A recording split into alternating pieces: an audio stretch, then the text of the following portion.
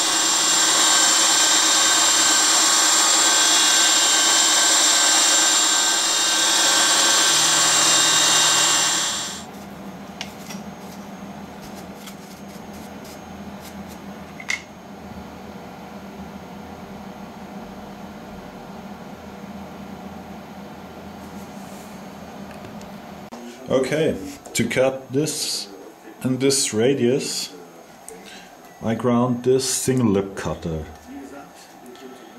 It's a straight straight cutter, 4 millimeter diameter with a 0.8 millimeter corner radius to form this radius.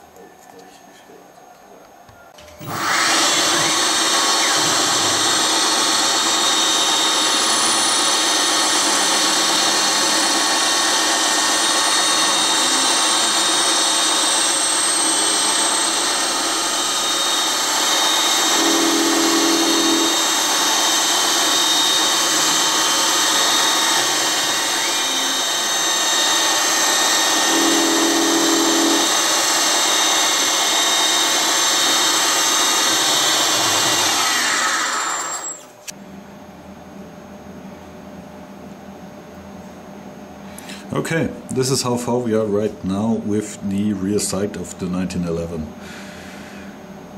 The outer shape is cut and also the stepped radius and the the sight slot itself. What's now left to be done is cutting the the dovetail on, on this and that edge.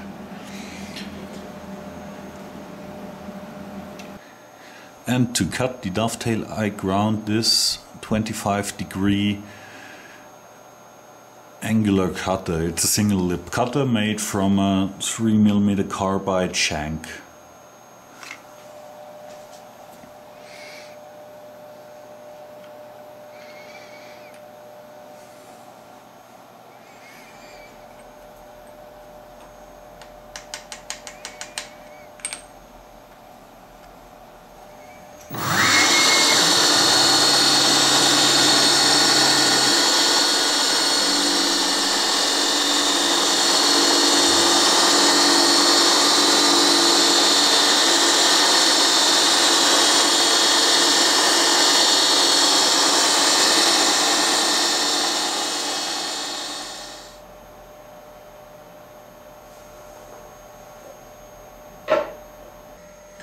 Okay, second to last step on the rear sight.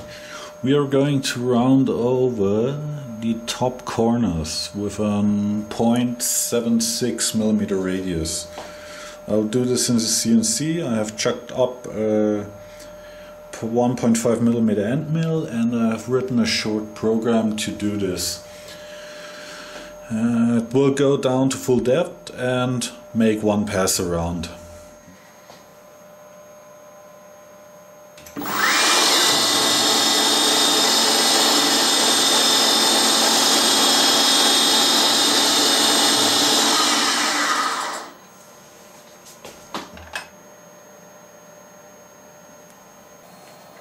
So last thing that has to be done is cutting the side free of the stem we used to clamp the part.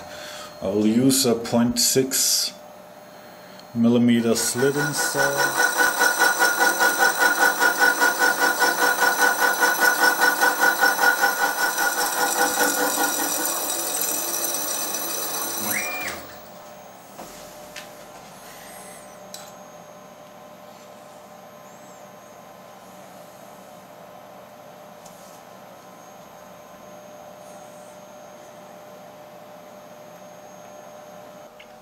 So, these are the finished rear sights.